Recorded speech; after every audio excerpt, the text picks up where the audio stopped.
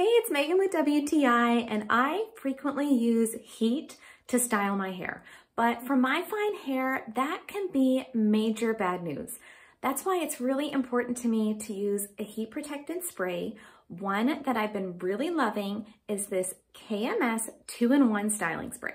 Now, I don't know about you, but I am constantly losing things, especially small things. So I'm glad that this spray does not come with a separate cap. Instead, the spray nozzle has this built-in cover that you can turn clockwise and counterclockwise to lock and unlock the spray. I think that this spray comes out in this beautiful, perfectly fine mist. It's not the kind of mist that is going to overly drench and be too heavy on my fine hair. When I'm styling my hair, I like to take it section by section and then lightly mist it with this spray.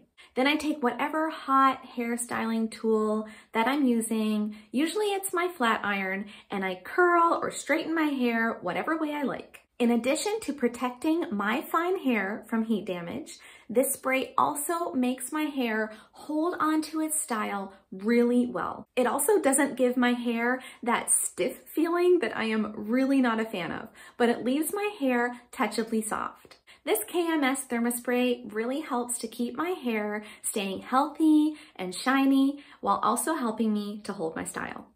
And that's my point of view.